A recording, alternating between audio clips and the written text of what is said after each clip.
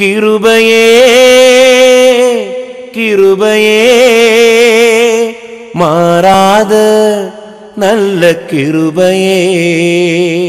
உங்க கிருபைதான் என்னை தாங்குகின்றது.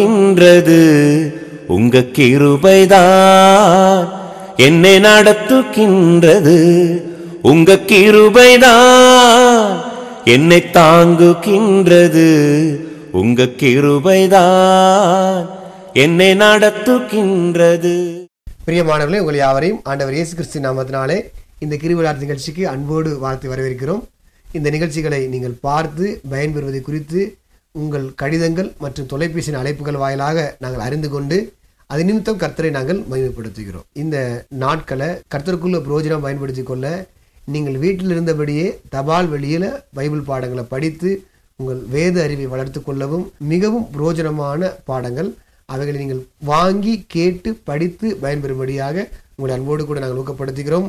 The voice of truth international என்ற ஆங்கில இதழும் கிருபையுள்ள வார்த்தை என்ற தமிழ் மாத இதழும் எங்களிடம் உண்டு. நீங்கள் அதை பெற்றுக்கொள்ளும்படியாக அன்போடு கூட நாங்கள் உங்களை ஊக்கப்படுத்துகிறோம். எப்பொழுதும் போல நோட்டு மற்றும் பேனாவோடு அமர்ந்து இந்த பாடங்களை குறிப்பிடுத்து நீங்கள் படித்து பயன்பெறும்படி அன்போடு ஊக்கப்படுத்துகிறோம். இந்த நாளில் நம்முடைய செய்தியாளர் கிருவலார்த்தி பத்திரிகையின் ஆசிரியரும் ஜேசி ஸ்கூல் ஆஃப் ஏஞ்சல்ஸின் இயக்குனருமான போதகர் பிலமோன் ராஜா அவர்கள். பிரியமானவர்களே ஆண்டவராய் இயேசு கிறிஸ்துவ நாமத்தினாலே உங்களை வாழ்த்தி இந்த கிருபில்ல வார்த்தை நிகழ்ச்சிக்கு வரவேற்பதிலே நான் மகிழ்ச்சி அடைகிறேன். படைப்பா பரிணாமமா? தயவு செய்து ஒரு வார்த்தையை ஒவ்வொரு பாடத்திலையும் சொல்லுகிறேன் மீண்டும் சொல்லுகிறேன். கிறிஸ்து இயேசுவை விசுவாசிக்கிற ஒவ்வொருவரும் இந்த கேள்வியை நமக்குள்ளே என கேட்டு அதற்கான பதிலை ஆதியாகமத்திலிருந்து நீங்கள் படித்து பதிலை கண்டுபிடிக்கும்படி தயவோட கூட கேட்கின்றேன். நான் சொல்றதா ரைட்டு மீதி எல்லாம் தப்பு அப்படின்னு நான் பேச வரல. ஆனால் நம் கைகளிலே இருக்கின்ற பைபிள் பரிசுத்த ஆவியானவராலே கொடுக்கப்பட்ட புத்தகம். பரிசுத்த மனிதர்களாலே ஏவப்பட்டு எழுதப்பட்ட ஒரு நூல். அதற்குள்ளே பரிசுத்த வார்த்தைகள் இருக்கிறது. பிதாவின் செய்தி இருக்கிறது. இயேசு கிறிஸ்து என்னும் வார்த்தை உள்ளே இருக்கிறது.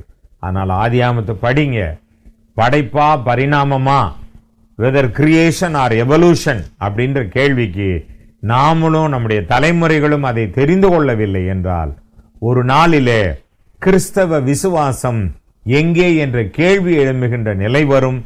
ஆனபடியினாலே குடும்பமாக அமர்ந்து ஆழமாக ஆதியாகம புத்தகத்தின் ஆறு நாளிலே அவர் படைத்தார் என்றும் பரிணாமமாகிய லட்சக்கணக்கான ஆண்டிலே இந்த உலகம் தோன்றவில்லை என்பதை உறுதிப்படுத்தி உங்கள் விசுவாசத்தை ஆழப்படுத்தும்படி இதை ஏற்கனவே அறிந்திருக்கிறவர்கள் இதையாவது தருணமாக எடுத்துக்கொண்டு குடும்பங்களிலே தலைமுறைகளோட பேசும்படி தயவோட கூட கேட்கின்றேன். படைப்பா பரிணாமமா என்ற கேள்வியிலே படித்துக்கொண்டே வந்தோம். கடைசி பாடமாக காயின் ஆபேல் இருவரை பற்றி பார்த்தோம். முடிக்கும் பொழுது காயின் ஆபேலை கொன்று போட்டான் கொலை செய்தான். இப்பொழுது கொலை செய்தவனுக்கு தண்டனை உண்டு.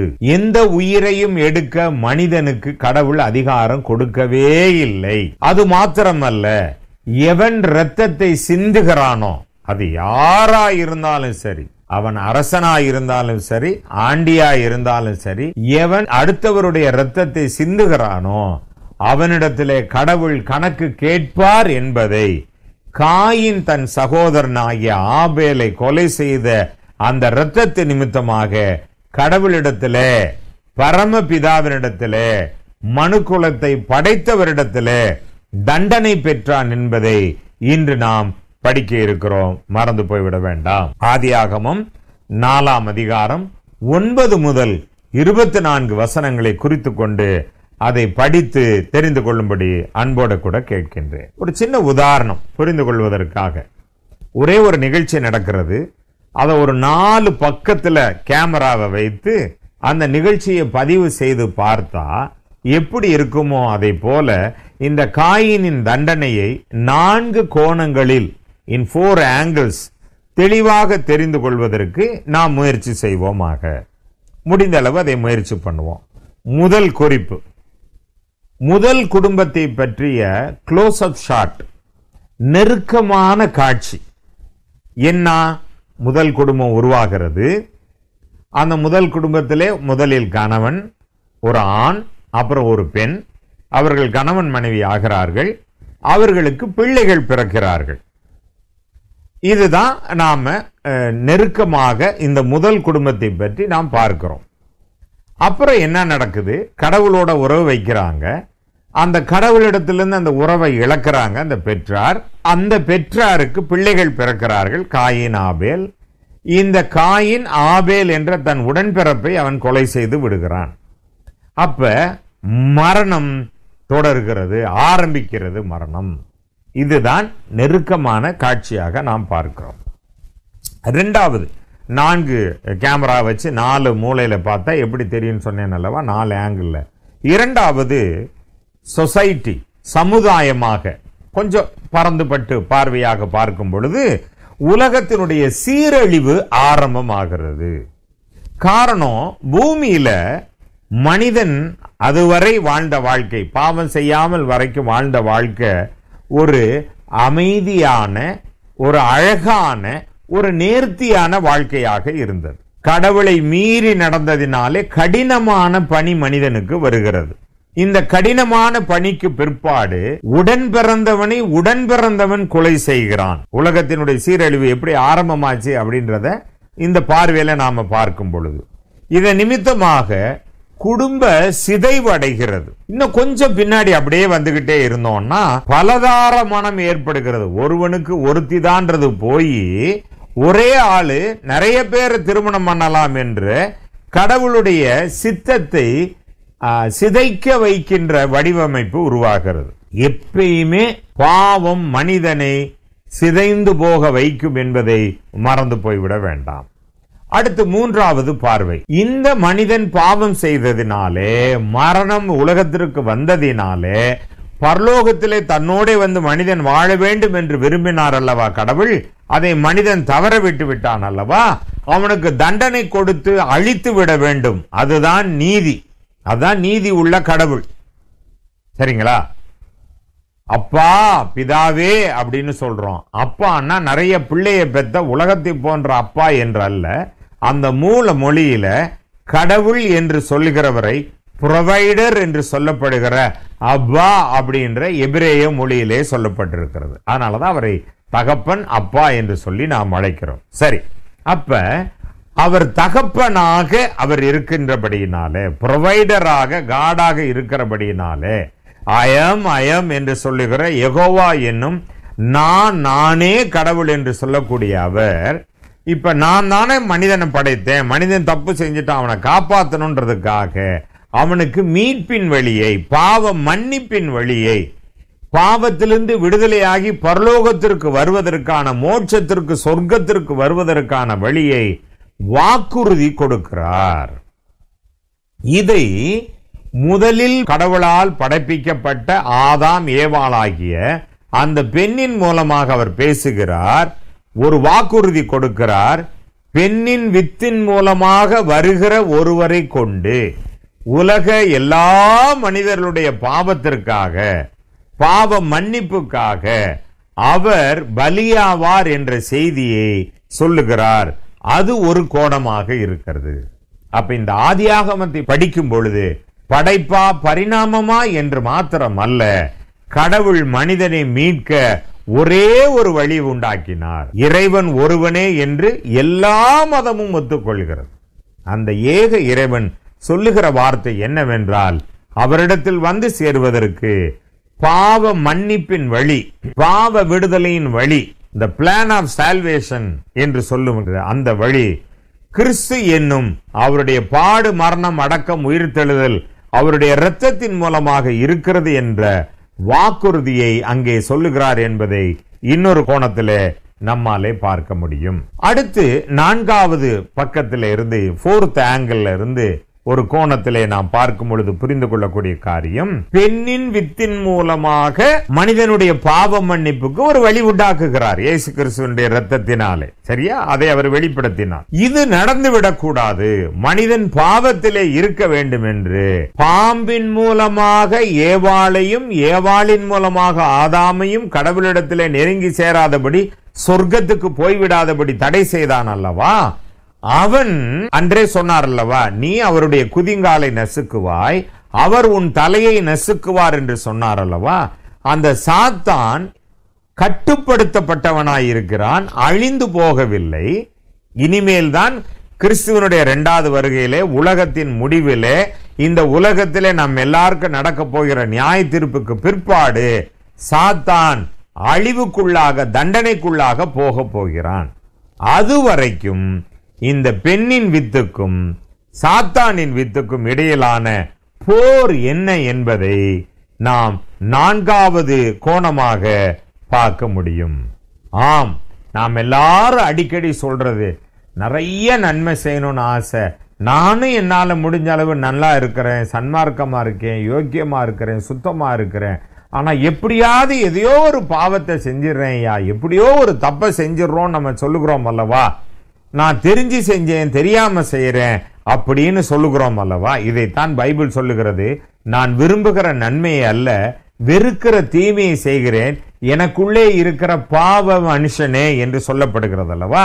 அப்ப சாத்தானும் உலகத்தினுடைய போதனையும் பெண்ணின் வித்தாகிய இயேசுவினுடைய இரத்தத்தினாலே மனிதர்கள் பாவ மன்னிப்பை பெற்று அந்த சொர்க்கத்திற்கு பரலோகத்திற்கு மோட்சத்திற்கு போகிற வழியை மக்களை போகாதபடி அவர்களுடைய பார்வையை அவர்களுடைய செவியை அவர்களுடைய நடையை வேறு திசையில் திருப்பிக் கொண்டிருக்கிறான் என்பதை நம்மாலே தெரிந்து கொள்ள முடியும். அதனுடைய விளைவுதான் பெண்ணின் வித்தாகிய காயினை பயன்படுத்தி பெண்ணின் வித்தாகிய ஆபேலை கொலை செய்து பெண்ணின் வித்து என்று ஒன்று இல்லாமல் போய்விட வேண்டும் என்று முயற்சி செய்கிறான். எபிரேயர் இரண்டாம் அதிகாரம் பதினான்கு பதினைந்தாவது வசனம். ஆதலால் பிள்ளைகள் மாம்சத்தையும் இரத்தத்தையும் உடையவர்களாய் இருக்க அவரும் அவர்களைப் போல மாம்சத்தையும் இரத்தத்தையும் உடையவரானார். மரணத்துக்கு அதிகாரியாகிய பிசாசானவனை தமது மரணத்தினாலே அழிக்கும்படிக்கும் ஜீவகாலமெல்லாம் மரண பயத்தினாலே அடிமைத்தனத்திற்குள்ளானவர்கள் யாவரையும் விடுதலை பண்ணும்படிக்கும் அப்படியானார். கிறிஸ்து என்னும் வித்து விதை மரித்தோரில் இருந்து உயிர் தெழும்புவதின் மூலமாக அதை யாரெல்லாம் நம்பி ஏற்றுக்கொள்கிறார்களோ அவர்களெல்லாம் சாத்தானின் வித்துக்கு எதிராக இருந்து மோட்ச வாழ்க்கை பரலோக வாழ்க்கையை பெற்றுக்கொள்ள முடியும். அவர்கள் அதை பெற்றுக்கொள்வதற்கு பெண்ணின் வித்தாகிய கிறிஸ்து சாத்தானின் தலையை நசுக்க வேண்டி இருந்தது சாத்தானின் தலை என்பது என்ன? மனுக்குலத்திற்கு மரணத்தை கொண்டு வந்தது. அப்ப அந்த மரணத்தை சாத்தான் கொண்டு வந்தபடியினாலே மனுக்குலத்திற்கு மனிதர்களுக்கு கொண்டு வந்தபடியினாலே அந்த கடவுள் என்னும் நான் நானே என்று சொல்லப்படுகிற அந்த பரலோக கடவுளானவர் பிதாவாகியவர் தன்னுடைய வார்த்தையானவரை இந்த உலகத்திலே மனிதனாக வர வைத்தார் அவருக்கு எந்த பேரும் இல்ல. எளிமையாக விடுதலை செய்கிறவர் மீட்கிறவர். எதிலே இருந்தென்றால் பாவத்திலிருந்து விடுதலை தருபவர் என்று அவர் வார்த்தையானவர் வந்தார். அதைத்தான் இந்த பைபிள் என்ற எபிரேய மொழியில் எழுதப்பட்ட பழைய ஏற்பாடும் கிரேக்க மொழியிலே எழுதப்பட்ட புதிய ஏற்பாடும் அந்த மூல மொழியிலிருந்து பார்க்கும் பொழுது பாவ மீட்பருக்கு பாவத்திலிருந்து மனிதனை விடுதலையாக்கி பரலோகத்திற்கு கொண்டு செல்பவரை ரட்சகர் என்ற அந்த தமிழ் வார்த்தையினுடைய எபிரேய மொழியினுடைய பைபிள் மொழியினுடைய பெயர்தான் இயேசு என்று சொல்லப்படுகிறது. இதை நாம் நினைவிலே கொள்ள வேண்டும். இது ஒரு பார்வையாக நாம் கவனிக்க வேண்டியவர்களாயிருக்கிறோம். சரி அப்ப ஏன் கடவுள் மனுஷனாக வேண்டும்? மனிதன் உடலிலே பிறந்ததினாலே அவன் ஆத்துமா பாபத்தினாலே மறிக்கிறது இந்த உலகத்திலே மரணம் வந்திருக்கிறது. அப்ப சாத்தான் ஆத்மீக மரணத்தை கொண்டு வந்தான். இயேசுவை யாரெல்லாம் நம்பி வந்து மோட்சத்துக்கு போகணும் இன்னொரு முறை இந்த பூமியில பிறக்க நான் விரும்பல பிறக்க வேண்டாம் நான் என்ன செய்யணும் பரலோகம் போகணும்னு ஆசைப்படுறவங்கெல்லாம் இயேசுவினுடைய ரத்தத்தினாலே பரலோகம் போக முடியும் அல்லவா ஆனபடினாலே இயேசு வந்து இந்த உடலின் மூலமாக மனிதனுக்கு ஏற்பட்ட மரணம் ஆகிய ஆத்துமாவில் பிசாசு கொண்டு வந்து மனிதனுக்கு கொடுத்த பரிசாகிய அந்த ஆத்தும மரணத்தையும் இந்த உடல் ரீதியான மரணத்தையும் முற்றுப்புள்ளியை கொண்டு வந்து சாத்தானுடைய தலையை நசுக்கினார். கிறிஸ்துவை நம்புகிறவர்களுக்கு மரண பயத்திலிருந்து விடுதலை உண்டு. மனுஷனா பிறந்த எல்லாருக்கும் உடல் சாவு என்று சொல்லப்படுகிற மரணம் உண்டு. இயேசுவை நம்புகிறவர்களுக்கு மரணத்தின் மீது பயம் இல்லாமல் போகும். காரணம் என்னவென்றால் மரணத்துக்கு பிற்பாடு இன்னொரு வாழ்க்கையை நான் பெறப்போகிறேன். அந்த வாழ்வு இயேசுவின் இரத்தத்தின் மூலமாக எனக்கு கிடைக்கிறது என்று அவரை நம்பி வருகிறவர்களுக்கு அவர் பாவ மன்னிப்பாகிய திருமுழுக்கினாலே பரிசாக கொடுக்கிறார். கடவுளுடைய குடும்பத்திலே மீண்டும் பிறப்பது என்று சொல்லி இயேசு சொல்லி இருக்கிறார் அப்ப மரணத்தை குறித்த பயம் இல்லாமல் போகும். ஆத்தும மரணத்திலே செத்து போனவர்களை இயேசுவினுடைய ரத்தம் பாவங்களை கழுவி புது வாழ்வை கொடுக்கிறது என்பதை நாம் புரிந்து கொள்ள வேண்டியவர்களாய் இருக்கிறோம் ஆம் பெண்ணின் வித்துக்கும் சாத்தானின் வித்துக்கும் போராட்டம் என்று சொல்லி நாம் ஒரு பார்வை பார்த்தோம். நான்கு த- பார்வைகளில் அது ஒரு பார்வையாக பார்த்தோம். அதனுடைய உச்சகட்ட போராட்டம் தான் சிலுவையிலே இயேசு சர்வ லோகத்தினுடைய பாவத்திற்காக மறித்தார் தன் ஜீவனை கொடுத்தார். அவரை அடக்கம் பண்ணினார்கள். அவரை அடக்கம் பண்ணின பொழுது சாத்தான் கொக்கரித்தான் சந்தோஷப்பட்டான். மனுஷனை மீட்க வந்த மீட்பரை நான் அழிச்சிட்டேன். எப்ப முத மனுஷனுக்கு சாவை வாங்கி பரிசா கொடுத்தேனோ பாவத்தை வாங்கி பரிசா கொடுத்தேனோ பரிசுத்தமா பிறந்த ஒரு மனுக்குலத்திற்கு பாவத்தை பரிசாக கொடுத்தேனோ இயேசுவின் கதை முடிந்து விட்டது என்று அவன் சொன்னான். ஆனால் கிறிஸ்து மரணத்திலிருந்து உயிரோடே எழுந்ததின் நிமித்தமாக அவர் சிந்தின இரத்தத்தை யாரெல்லாம் நம்பி தன் பாவம் கழுவப்படும்படியாக வருகிறார்களோ அவர்களுக்கு பரலோகம் உண்டென்றும் இயேசு கிறிஸ்துவை நம்புவதினாலே மரணத்தை குறித்த பயம் நீக்கப்படுகிறது என்றும் நாம் தெரிந்து கொள்ள வேண்டும். இதை நாம் பெறுவதற்கு கிறிஸ்து சிலுவையிலே போராடினார் என்பதை நாம் புரிந்து கொள்ள வேண்டியவர்களாய் இருக்கின்றோம் இப்பொழுது நாலாம் அதிகாரம் ஆதியாகமும் ஒன்பது முதல் பதினைந்து வசனங்களை குறிப்பாக கவனித்து அதிலே காயினை பற்றிய காரியத்தை நாம் தெரிந்து கொள்ளலாம். கர்த்தர் காயினை நோக்கி உன் சகோதரனாகிய ஆபேல் எங்கே? என்றார். அதற்கு அவன் நான் அறியேன் என் சகோதரனுக்கு நான் காவலாளியோ? என்றான். அதற்கு அவர் என்ன செய்தாய்? உன் சகோதரனுடைய இரத்தத்தின் சத்தம் பூமியிலிருந்து என்னை நோக்கி கூப்பிடுகிறது. கவனித்து பார்க்க வேண்டும். பெண்ணின் வித்தை அழித்து விட வேண்டும். சாத்தானின் திட்டம். அதை யார் மூலமா நிறைவேற்றான் காயின் மூலமாக நிறைவேற்றுகிறான். தப்பு சொல்லல. ஒரு சின்ன உதாரணத்துக்காக சொல்லுகிறேன். சரியாக இருந்தால் எடுத்துக்கொள்ளுங்கள் இல்லை என்றால் பொறுத்து கொண்டு விட்டுவிடுங்கள் என்ன சொல்லுகிறேனே என்றால் கிறிஸ்தவம் சரியா சரியில்லையா என்று உலகத்தில் இருக்கிற நம்முடைய நண்பர்கள் பிற மதத்தை சேர்ந்தவர்கள் சொல்வதற்கு காரணம் கிறிஸ்துவனிடத்தில் அவர்கள் குறை கண்டுபிடிப்பதில்லை. கிறிஸ்துவை நம்புகிறோம் என்று இந்த பூமியில் வாழ்கிற என்னுடைய நம்முடைய வாழ்க்கையில் கிறிஸ்துவை போன்ற செயல் இல்லாது போனதினாலே கிறிஸ்தவம் தோத்து போகிறது என்று பிறர் சொல்லுவதை நம்முடைய காதுகளினாலே நாம் கேட்டிருக்கிறோம். இதை ஏன் இந்த இடத்துல ஞாபகப்படுத்துகிறேனே என்றால் சாத்தான் தன்னுடைய திட்டத்தை நிறைவேற்றுவதற்கு முதல்ல ஒரே குடும்பத்தில் இருந்த கணவன் மனைவியில ஒருத்தரை பயன்படுத்தினான்.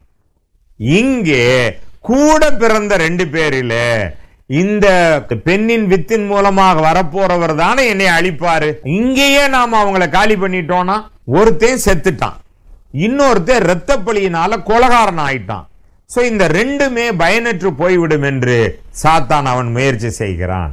அதைத்தான் இங்க கடவுள் கேட்கிறாரு. காயினே உன் சகோதரனாகிய ஆபேலை எங்கே என்று கேள்வி கேட்கிறான். அப்ப மன்னிப்பு கேட்க வேண்டியவன் கடவுளிடத்திலே பொய் பேசுகிறான். ஒரு சின்ன உதாரணம். நான் பாவம் செய்து விட்டேன் என்று ஏற்றுக்கொள்கிற மனோபாங்கு மனிதனை பரிசுத்தம் பெறுவதற்கு மனம் திரும்பும்படியாக அவனை வழிநடத்தும். இறைவனோடு இணைந்து செல்வதற்கு வழிநடத்தும். ஆனால் யதார்த்தமாக மனுஷீக புத்தி என்று சொல்லி சொல்லுவார்கள். மனித இயற்கை குணம் என்பது. நான் எல்லாரும் செஞ்சாதானே நான் செய்கிறேன் என்னை மாத்திரம் என்ன குறை சொல்றீங்க என்று எதிர்ப்போம் இல்லை என்று சொல்வோம். காரணம் காயின் இங்கே பொய் சொல்லுகிறான். எனக்கு தெரியாது என்று சொல்லுகிறான். என்னை மன்னித்து விடுங்கள் என்று கேட்பதற்கு பதிலாக கடவுளை பார்த்து ஒரு சவால் விடுகிறான். பத்தாவது வசனம். அதற்கு அவர் என்ன செய்தாய்? உன் சகோதரர் யுத்தத்தின் சத்தம் பூமியிலிருந்து என்ன நோக்கி கூப்பிடுகிறது. படைத்தவருக்கு கேள்வி கேட்க உரிமை இருக்கிறது. ரொம்ப தூரம் போய் பைபிளை பத்தி பெரிய விளக்கம் படிக்கணும்னு அவசியம் இல்லை. பெத்த தாயின் தகப்பனும் பிள்ளைகளை பார்த்து நீ என்ன செஞ்சேன்னு கேட்கறாங்க ஏன் செஞ்சேன்னு கேட்கறாங்க இது ஏன்? இதைத்தான் நம்மை படைத்தவரும் நம்மிடத்திலே கேட்கிறார். இவ்வளவுதான் பைபிள் சொல்லுது. இதுக்கு ஒரு பெரிய ஆராய்ச்சி செய்ய வேண்டும் என்ற அவசியமே இல்லை. சரி நினைவிலே வைத்துக் கொள்ளலாம். எங்கே என்று கேட்கிறார் அவனுடைய ரத்தம் பூமியிலிருந்து அங்க வந்து என்கிட்ட கேட்குதே அப்படின்றார். இப்ப அவன் மறுத்துட்டான். அவன் குறை சொல்ல ஆரம்பிச்சிட்டான். இனி கடவுள் அவனோட கருணையோட பேச போவதில்லை என்று முடிவெடுத்து ஆபேலினுடைய ரத்தத்தை சிந்தனதினாலே இரத்தப்பழிக்கு அவனுக்கு தண்டனை கொடுக்கிறார். ஒன்பதாம் அதிகாரம் ஆறாவது வசனம். மனுஷன் தேவசாலில் உண்டாக்கப்பட்டபடியால் மனுஷனுடைய ரத்தத்தை எவன் சிந்துகிறானோ அவனுடைய ரத்தம் மனுஷனாலே சிந்தப்பட கடவுது. இங்க பாருங்க நாலாம் அதிகாரம் பதினொன்னு பனிரெண்டாவது வசனத்துல தான் நாம கவனிக்க வேண்டிய முக்கியமான காரியம் இருக்கிறது. எப்பொழுதுமே புரிந்து கொள்வோம் எளியவர்கள் சாதாரணமானவர்கள் இயலாதவர்கள் எந்த மனிதனுடைய ரத்தத்தை யார் சிந்தினாலும் கடவுள் நின்று நீதி கேட்பார். இரத்தத்தை சிந்துகிறவர்களை சபித்து தண்டனை கொடுப்பார் என்ற முதல் எச்சரிக்கையின் பெரிய சத்தம் மணி ஒளி எழுப்பப்படுகிறது. உன் சகோதரனுடைய ரத்தம் என்று சொல்லி அவர் துவங்கும் பொழுது பதினொன்னு பனிரெண்டாவது வசனங்களில் இப்படி சொல்லுகிறார். இப்பொழுது உன் சகோதரனுடைய ரத்தத்தை உன் கையிலே வாங்கிக் கொள்ள தன் வாயை திறந்த இந்த பூமியில் நீ சவிக்கப்பட்டிருப்பாய். நீ நிலத்தை பயிரிடும்போது அது தன் பலனை இனி உனக்கு கொடாது. நீ பூமியில் நிலையற்று அலைகிறவனாய் இருப்பாய் என்றார். பாவத்தின் விளைவை பட்டியலிடுகிறார். ரத்தம் சிந்தனைதனாலே சாபம் உனக்கு உண்டு என்று சொல்லி சொல்லுகிறார். எனக்கு இந்த நேரத்தில் திடீர்னு ஒரு நினைப்பு வருகிறது. அபாஷன் செஞ்சு புள்ளைய கொல்றவங்க கூட கோலகாரவங்க தான். அது பெரிய பாவம். பெருசா வளர்ந்து வந்து நிக்கிறவங்களை கொலை பண்ணா மாத்திரம் இல்ல கருக்கலைப்பும் என்பதும் ஒரு மாபெரும் பாவம் தான். ஏனென்றால் ஒரு உயிரை கொல்வது இரத்தத்திலே உயிர் இருக்கிறது. இது என் நினைவுக்கு வருகிறது. சரி யோசித்து பார்ப்போம். நல்லது. அடுத்தவர் என்ன சொல்றாரு? காயினே நீ அலைந்து திரிகிறவனாக நீ மாறுவாயின்றார். காரணம் இவன் கொலை செஞ்சதை தெரிஞ்சதுனால அடுத்தவங்க இவனை அடிச்சு கொண்டுருவாங்கன்னு போய் இப்பதான் அவன் அழுகிறான். கடவுள்கிட்ட மன்னிப்பு கேட்கறான் என்னை வாழ வைய காப்பாத்துன்றான். இவ்வளவு பெரிய சாபம் கொடுத்துட்டீங்களேன்றப்ப அப்ப நீ அலைந்து திரிவாய் என்று சொல்லுகிறார். ஆக்சுவலா அவனை தூக்குல போட்டிருக்கணும். தூக்குல போடுவாருன்னு சாத்தானுக்கு ஆசை. ஏன்னா பெண்ணின் வித்து வர வேண்டும். அதன் மூலமாய் பாவ மன்னிப்பு கொடுக்கிற ரட்சகர் வர வேண்டும். அப்ப ஒரு பையனை காலி பண்ணியாச்சு இன்னொருத்தனை பாவி ஆக்கியாச்சு அப்ப ரெண்டு பேரும் அழிஞ்சு போனா பரலோக பிதாவினுடைய சித்தம் நிறைவேறாது என்று சத்துருவானவன் நினைத்தான். பாவம் செய்தவனுக்கு தண்டனை கொடுத்து கடவுள் அவனை கொஞ்சம் வாழ அனுமதி கொடுக்கிறார். அவனுக்கு தூக்கு தண்டனைக்கு பதிலாக சும்மா சாதாரண மொழியில பேசினால் ஆயுள் தண்டனை அவருக்கு கொடுக்கிறார் என்று வைத்துக் கொள்வோம் அப்ப பூமியிலே சந்ததி பெறுகிறது. இந்த காயின் மாத்திரமில்லை. இதை தாண்டியும் ஆதாம் ஏவாளுக்கு நிறைய பிள்ளைகள் பிறக்கிறார்கள். பாவம் செய்தவனுக்கு தண்டனை அவர் கொடுக்கிறார். பதிமூன்றாவது வசனம் இப்படி சொல்லுகிறது. அப்பொழுது காயின் கர்த்தரை நோக்கி எனக்கு இட்ட தண்டனை என்னால் சகிக்க முடியாது. பெருமையும் கலகத்தனமும் இருக்கிற இடத்துல தண்டனை வந்து சேரும். தாழ்மையும் கடவுளுடைய வார்த்தைக்கு ஒத்து போகிற குணமும் இருக்கின்ற இடத்துல பிழைத்து கொள்ள முடியும் என்பதை நம்மாலே புரிந்து கொள்ள முடியும். இனி கடவுள் காயினுடைய முகத்தை பார்க்க போவதில்லை. இனி காயினாலே கடவுளோடு தொடர்ந்து உறவு கொள்ள முடியாது. அவன் கடவுளுடைய சமூகத்தை விட்டு அதிகமாக விலகி போக வேண்டிய ஒரு நிலைமை ஏற்படுத்தி விட்டது ஆதியாம் நாலு பதினாலு மற்றும் பதினைந்து. இன்று என்னை இந்த தேசத்திலிருந்து துரத்தி விடுகிறீர். நான் உமது சமூகத்துக்கு விலகி மறைந்து பூமியில் நிலையற்று அலைகிறவனாய் இருப்பேன். என்னை கண்டுபிடிக்கிறவன் எவனும் என்னை கொன்று போடுவானே என்றான். அப்பொழுது கர்த்தர் அவனை நோக்கி காயனை கொள்ளுகிற எவன் மேலும் ஏழு பலி சுமரும் என்று சொல்லி காயனை கண்டுபிடிக்கிறவன் எவனும் அவனை கொன்று போடாதபடிக்கு கர்த்தர் அவன் மேல் ஒரு அடையாளத்தை போட்டார். கடவுளை நம்புறோம். உத்தமமாக வாழ்கிறோம் யோக்கியமாக வாழ்கிறோம் யாருக்கும் தீமை செய்யலை எங்களுக்கு ஏன் இப்படி நடக்குதுன்னு மனிதர்கள் கேள்வி கேட்டு கொண்டிருக்கிறோமே நமக்கு இங்கே பதில் சொல்லப்படுகிறது. கடவுளுடைய பிள்ளைகளுக்கு தீமை செய்து அழிக்கிற பொழுது அழிக்கிறவனை அவர் தண்டனையிலும் அழிக்கப்பட்டவனுக்கு அவர் தன்னோட வாழ்வதற்கான வழிக்கான அந்த கிருபையும் அவர் கொடுக்கக்கூடியவராய் இருக்கின்றார். ஆனபடியினாலே நீதிமானாய் கடவுளுக்கு பயந்து வாழ்கிற வாழ்க்கையின் முடிவு பயனற்றது என்று சாத்தான் விதைக்கின்ற விதைகளாகிய எண்ணங்களை மனதிலே வளர்த்து கொள்ள வேண்டாம். தற்கொலை பண்ணுவதையும் கடவுளை அனுமதிப்பதில்லை. என்ன நியாயமான காரணம் சொல்லி ஒருவனை கொலை செய்வதையும் கடவுளை அனுமதிப்பதில்லை என்று நம்மாலே இங்கே தெரிந்து கொள்ள முடிகிறது. சரி இப்பொழுது இவன் அஹ், கெஞ்சுகிறான் கதறுகிறான். அப்ப ஒரு அடையாளத்தை கொடுத்து இவனை யாராவது கொலை பண்ணா அவங்க வேலை ஏழு பணி சுமரும் என்று சொல்லப்படுகிறது. ஆம் பிரியமானவர்களே காயினுடைய தண்டனை குறித்து இந்த நாளிலே நாம் படித்தோம். மாபெரும் செய்திகளை படித்தோம். நான்கு கோணங்களிலே ஒரே நிகழ்ச்சியை நாலு கேமரால வச்சு பார்த்தா எப்படி இருக்குமோன்ற மாதிரி நான்கு கோணங்களிலே பார்த்தோம். யாருடைய இரத்தமும் சிந்தப்படக்கூடாது. யாரும் தன்னை அழித்து கொள்ளக்கூடாது. கடவுளுடைய திட்டத்தின்படி வாழ வேண்டும். பாவம் செய்ய தூண்டுபவன் சாத்தான் என்றும் பாவத்திலிருந்து விடுதலை கொடுத்து ஒரே முறை மறிப்பதும் பின்பு நியாய தீர்ப்படைவதும் நாம் கடவுளிடத்தில் செல்வதும் கிறிஸ்துவனுடைய வழி என்றும் நாம் கற்றுக்கொண்டபடியினாலே நாம் பாவத்தை வெறுத்து பரிசுத்தத்தில் வாழ்வதற்கு கிறிஸ்துவினாலே நாம் பெறக்கூடிய அந்த உன்னத வழியை அறிந்து கொள்வதற்கு புதிய ஏற்பாட்டினுடைய இருநூற்று அறுபது அதிகாரங்களையும் திட்டமிட்டு வாசித்து பரலோக வழியை கற்றுக்கொள்ள தெளிவடைய உன்னதத்தின் கர்த்தர் நமக்கு உதவி செய்வாராக. ஆமேன். ஜெபம் செய். எங்களை நேசிக்கிற நல்ல பிதாவே காயினுடைய வழியினாலே ஏற்பட்ட அந்த தண்டனையை நாங்கள் இந்த நாளிலே கற்றுக்கொண்டோம். சாத்தான் எப்பொழுதுமே உம்முடைய திட்டம் நிறைவேறக்கூடாது என்று உம்மிடத்தில் வராமல் உம்மை நாங்கள் நம்ப மறுக்கும் பொழுது உம்மை நம்பி தேடுவதற்கு நேரமில்லாமல் இந்த உலகத்தோட வாழும் பொழுது எங்களை அவன் பிடித்துக் கொள்கிறான். நாங்கள் அவன் வழியிலே போய் நாங்கள் எங்கள் ஆசீர்வாதத்தை இழந்து விடுவோம் என்பதை இன்று நாங்கள் கற்றுக்கொண்டோம். ஆ மாபெரும் தண்டனை அவனுக்கு வந்தது. ஆனாலும் என்னை மன்னித்து வாழவை என்று கேட்டபடியினாலே காயினுக்கே வாழ்வு கொடுத்தீரே.